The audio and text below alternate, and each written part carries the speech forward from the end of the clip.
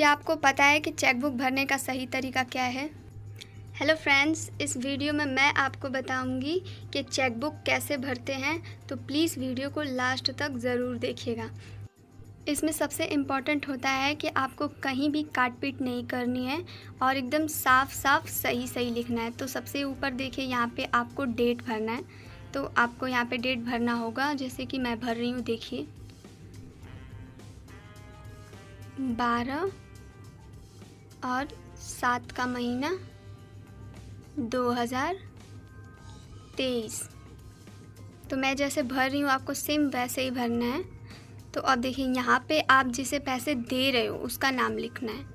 आप चाहो तो हिंदी या इंग्लिश, आपको जो भी अच्छा लगे, आप उसमें लिख सकते हैं, पर साफ़ साफ़ लिखना है। राम यादव। अब इसके नीचे आप जितना पैसा दे रहे हो वो आपको लिखना है हिंदी में। जैसे मुझे लिखना है बीस हज़ार रुपया। आपको भी सेम ऐसे ही भरना है। और यहाँ पे आपको अपना अकाउंट नंबर लिखना है। आपका जो भी अकाउंट नंबर है, आप वो लिखिए।